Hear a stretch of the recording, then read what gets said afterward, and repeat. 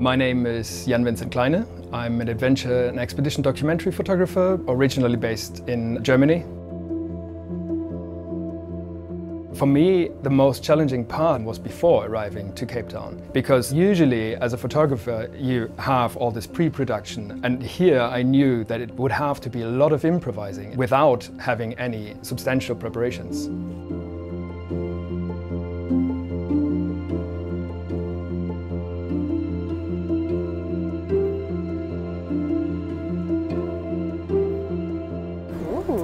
Some presents. Three, two, one. Oh, it's the prompt. Okay. Everyday athletes, unexpected performances.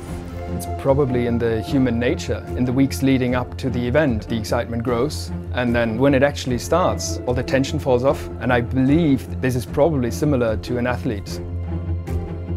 My hope would be for these next couple of days, because we're all kind of out of our comfort zones, that we might be able to just consider it as something that is like a playful experience.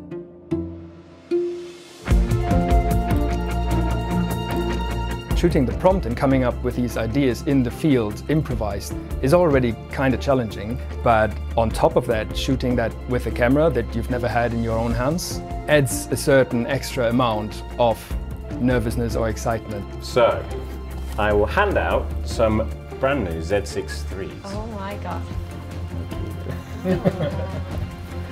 It's so small. Oh my god.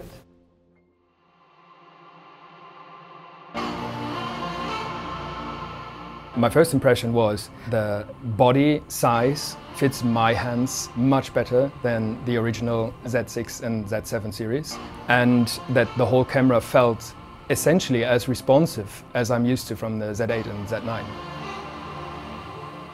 So before the prompt was revealed to us, I already hoped that there would be an opportunity to do something climbing related. So during this warm-up session, I saw these boulders lying there. I was like, this is the location where I feel actually inspired to do something with the prompt. I feel like this place has a lot of potential for this graphic minimalism, which I'm striving for. I feel like it's an incredibly beautiful place. We are somewhat concerned that granite here is extremely spiky. Climber and photographer have to work together in order to create something in any way meaningful. I have to understand what the climber can do and the climber has to understand what my goal in an aesthetic way is. Just being there for 20 minutes with her gave me peace of mind that she likes the place, but I do have to say I was still worried because it is these granite rocks. So I knew if we do this there, we would only have very limited time. So that gave me the challenge to be extremely efficient with the time that she actually spends on the rock.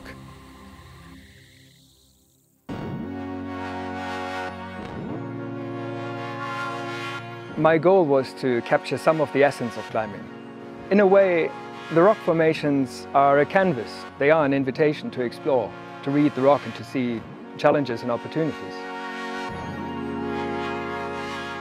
So, over the last couple of years, I had the privilege to shoot with the best climbers in the world. But the prompt in this case was an everyday athlete. And Nadira, she is not a professional climber. She has just this extreme passion for climbing. So I felt like she fits the prompt perfectly and immediately understood the concept of the prompt.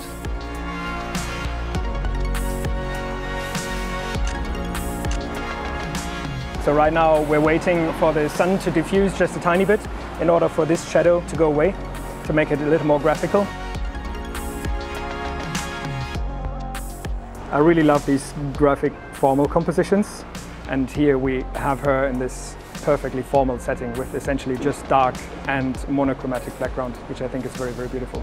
Yeah, yeah, yeah, yeah, much nicer, much nicer. I believe as a photographer, you want to evoke some form of emotion in your work. You can immediately see in the face if this is an honest, happy reaction. So my goal with this project and with the camera was not just to create photos, but also to try out the video capabilities of the camera. Because in my field of work, having this hybrid capabilities is extremely important. And she has such an inspiring story to tell that I actually decided, okay, I have to sit down with her at some point to learn more about her.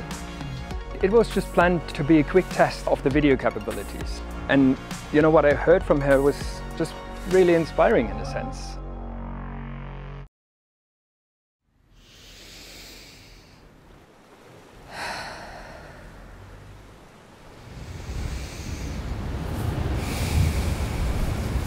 I'm being allowed to play in nature, and nature's allowing me to play in its space. Climbing is incredibly exciting, it's invigorating, There's, it's actually euphoric, I would say. Climbing is euphoric. It helps you to believe in yourself, it helps you to form trust with yourself and with your environment, it builds confidence.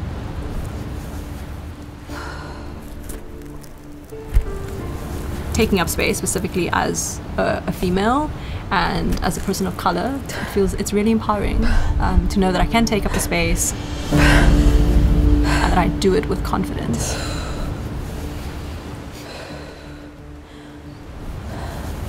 Climbing is done or feels better when it's shared with other people and when it comes to self-empowerment or just feeling empowered in general I think I'd like to share that with uh, people who come from a disadvantaged background, you know, who've never experienced just a fraction of what I have with climbing, and just how much uh, it helps you develop as a person.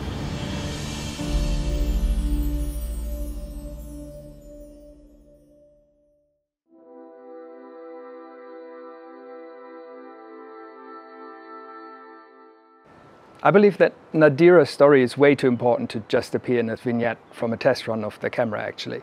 She deserves a proper documentary approach that does her and her cause justice. And I wouldn't have any doubts to bring the Z6 III along for that.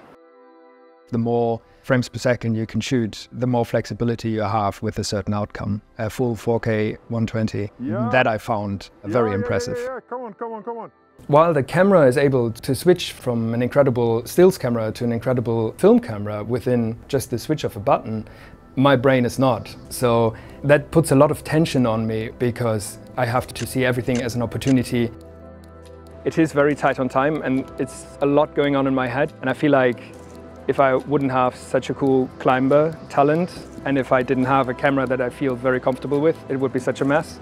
So when I'm out on projects like this, my mind is racing with getting the results.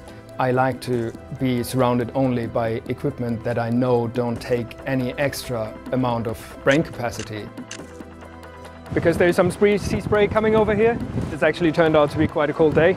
So we have to be really fast now. She will now climb up this narrow gap. I know from the Z8 and the Z9 that everything is just automatic. It's muscle memory for me. I don't have to think about any setting whatsoever. I know that the camera just does everything I would want it to do in all conditions.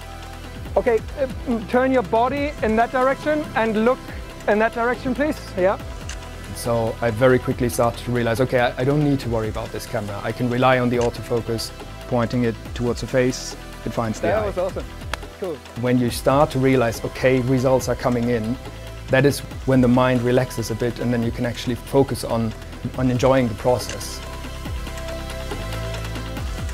I mean, what a day, seriously. Camera did a fantastic job, Nadira did a fantastic job, so I'm happy.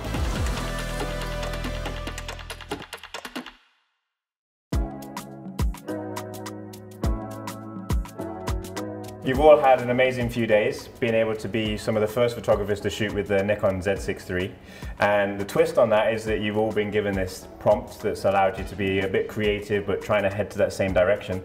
So I'm really excited to see what you've all shot. I feel like what made this project special is that you have other photographers on set as well to share the experience, to share the excitement for the new product and to create something together, not against each other. So I thought for a photographic series which, which focuses on climbing and the passion of climbing and the beauty of climbing, you know, the, the rock is the canvas for the creativity of the climber. I'm fascinated by AI, I'm fascinated by technology, I'm fascinated what is possible, but photography to me is a process. So it's not just about the final result. If it were to come from an AI, I feel like personally it has no soul because essentially photography is about the end interaction, it is about the process, the learning, and somehow trying to capture the essence of what you see with the audience because you know there is an actual human story in it and in the end I am emotionally attached to a human story.